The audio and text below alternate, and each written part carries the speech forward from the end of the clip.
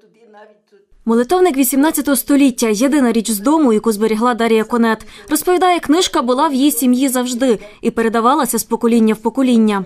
Міші погризли, старенькі, такі порки, бачите. 72 року, 1772 року. Я молилася по ньому весь час. Я сиділа в бур'янах, сиділа. І тільки молилася, тільки молилася.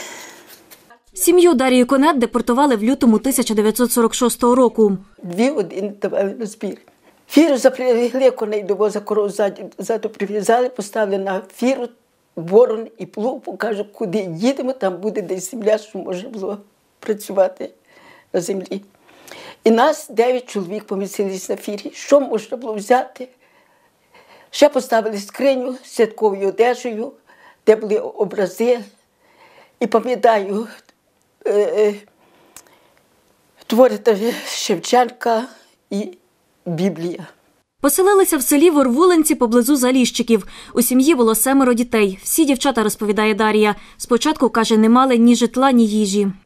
В селі не було хати вільної, то ми жили в землянці. Жили в землянці. Щось дві неділі, потім звільнилася хата, там виселили людей в Сибір, то ми поселилися в тій хаті. І чекали, чекали, щоб розмерзлася, бо то було дуже холодно, мороз. Чекали весни, щоб розмерзлася земля.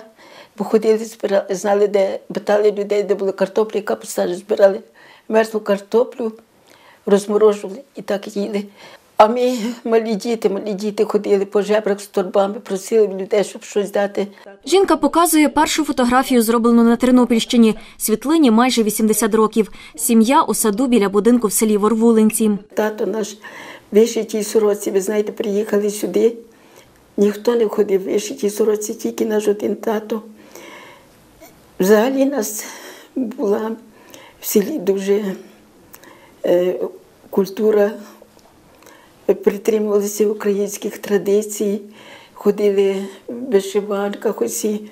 А це фото зробили в 1999 році. Тоді Дар'я вперше після депортації приїхала додому в Лищаву горішню. Жінка стоїть на своєму подвір'ї.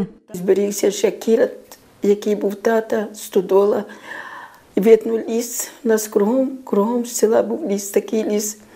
Ще раз жінка поїхала в рідне село у 2006 році. Тоді на її подвір'ї вже стояв новий будинок. Соломія Струс, Андрій Бодак. Новини на Суспільному. Тернопіль.